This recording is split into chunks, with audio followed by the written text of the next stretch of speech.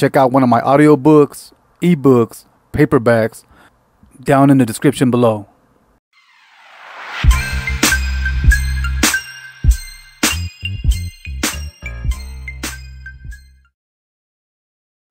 Dave Chappelle, the best living comedian, my humble opinion. Let's see what he has to say now. Live from Detroit. The closer. You always find out what the title means in the act. This is going to be my last special for a minute. Oh man. Let's hope that's not true. Because the last 17 months were hell. Hell yeah, they were. Oh, he's vaccinated. Oh, he got the terrible one. The Johnson and Johnson vaccine. Oh man, and the audience laughed when he said that.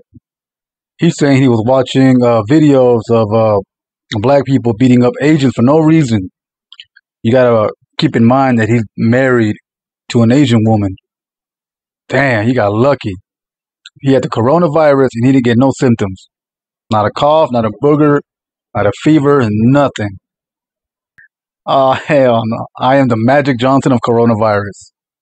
Whoa, looking kind of bad. I know it's the beginning, but looking kind of bad. He's, he had two jokes already that fell flat. This one, he's saying a movie plot where aliens leave Earth thousands of years ago and then come back trying to reclaim it from us. They want to call it Space Jews. Hardly anybody left. Oh no, man. So far, it don't sound like Dave Chappelle wrote this. Or maybe someone else helped him write his previous material. Because this ain't as clever as it, as it used to be. It's like a little too heavy handed. Like a, a comic who's starting off. Oh man, here we go. The LBGTQ community they were mad as hell last time. I hope to negotiate the release of DaBaby. oh man.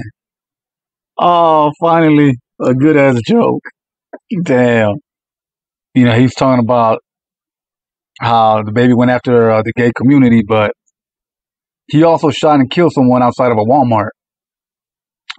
And he said nothing bad happened to his career. oh man. But you mess with the gay community, oh, that's your ass. Oh man, do you see where I'm going with this? Hell yeah. Is it possible that a gay person can be racist? Yeah, I think I've seen a few videos where that happened. what?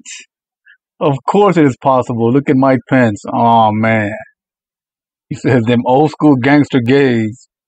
That's a sentence I never thought I would read ever. Whoa. You might get in trouble with this one. Gay people are minorities until they need to be white again. Woo! Shit. I guess because he got into it with a gay guy at a bar. And instead of fighting, the guy picked up his cell phone and called the police. That could be dangerous because some cops, not all, show up and just start shooting he's talking about that time where he left uh, Comedy Central and left fifty million dollars behind. That would be very impressive if he was broke when he did it, but he already had a few millions, so it's not that big of a sacrifice. You can say that about a lot of people.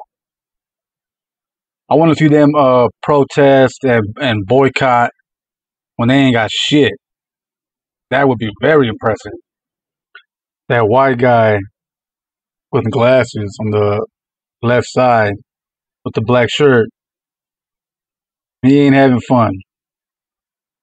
Oh, he brought that one back. Space Jews. And it still wasn't that funny. I was doing a nightclub in Oakland 16 years ago. Hey, that's where I'm from. Alright, that was funny. Said he was at a bar. He said he was at a hole in the wall bar somewhere in Michigan. a lot of poor white people. He yelled out, "Drinks on me!" So the bartender there was like, "Are you sure? That's going to be sixteen dollars."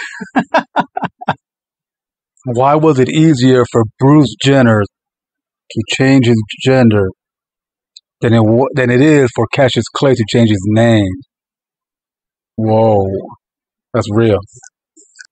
Yeah, he might get in trouble with this one. He says he's backing up J.K. Rowling that quote gender is a fact. It's not a social construct. Yeah, I, I uh I'm down with JK too, man. You can't just decide to be a woman. You're a trans woman, hell yeah, but you're not a woman woman. Women have uh have and are going through a lot of shit. And you can't just decide you're one. Oh, I remember that. Caitlyn Jenner was voted Woman of the Year. That was crazy. he said, never even had a period. Ain't that something? Oh, man.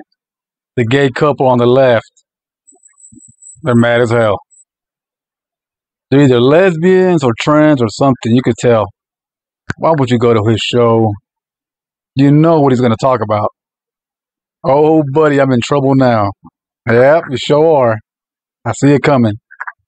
I would do 18 shows in the Bay Area. Man, he likes the Bay Area for some reason. Yeah, one of his best stand-up specials, man, is uh 2003 at the Fillmore in San Francisco. Damn, that shit was funny. In that show, he's like, "We're leaving San Francisco. Everything's all nice. We cross that bridge, and it's like, welcome to Oakland, bitch." That shit had me cracking the hell up when I first saw it. Yeah, see, there you go. Sometimes in Oakland, in Dirty Hood nightclub. Yeah, Oakland got some hood ass uh, nightclubs. Damn, I didn't see that coming. My friend Daphne killed herself.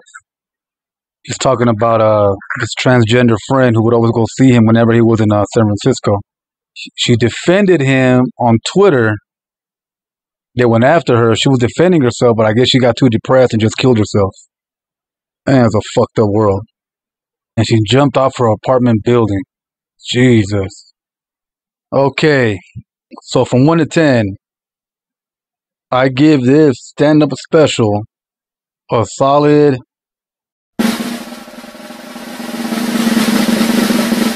seven. It's good, nowhere near as good as uh, Sticks and Stones and uh, for what it's worth. I think that's what it's called. The 2003 one he did in San Francisco. Still pretty good though, man. At the beginning, it, it was rough. He was falling flat. Those jokes were like really falling flat. Yeah, they weren't as clever as before. Still like it though. Definitely recommend it. Check out one of my audiobooks, ebooks, paperbacks down in the description below.